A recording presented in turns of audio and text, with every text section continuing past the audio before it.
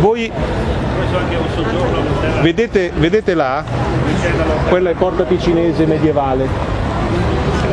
Se andate, se vi fate il corso di Porta Ticinese arrivate in, in piazza 24 maggio e c'è la Porta Ticinese più recente. Quindi, perché? Perché la, la città si è allargata. Quindi se uno parte da, dai Navigli si fa la Porta Ticinese più recente, si avvicina qua, quelle, vede quella medievale, in questa zona c'era quella romana.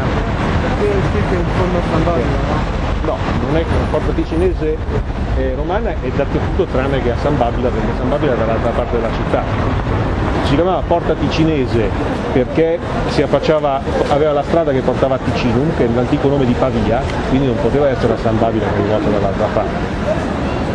Anzi, non c'era una porta a San Babila perché c'erano le terme. Allora, allora non Ok. C'erano le terme, era quello. Ora, quindi della, delle- della porta ticinese romana, che è ancora più arretrata, era in questa zona, voi vedete che non c'è niente.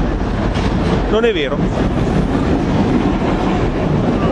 Lì vedete, questa era una delle due torri della porta ticinese romana, quindi ha 2000 anni. Questa anch'io non sapevo che c'era. Sì, è la prima cinta che, che faceva Milano, che Ecco, diciamo in questa zona la cinta massimiana e quella augustea si, ri- si riunivano dopo che si erano allargate. Mi sembrava giusto farvelo vedere. Non c'è tantissimo da dire, però questa è, questa è la dimostrazione di come a Milano le cose sono abbastanza nascoste. Se uno non lo sa. Ma sarà stato in pietra l'originale. No, era fatto così, era fatto così. Milano è No, Eh, tu- le mura. Questa è l'originale del... Come vedete anche la porta ticinese medievale non è di, di matura- di- di cose molto diverse, eh, cioè far tutto di pietra era una- un bel problema. Comunque, questo non lo sapevo, Nella- nel Medioevo sì, ma nell'antica Roma... era un lusso anche nell'antica Roma, solo che c'erano più soldi.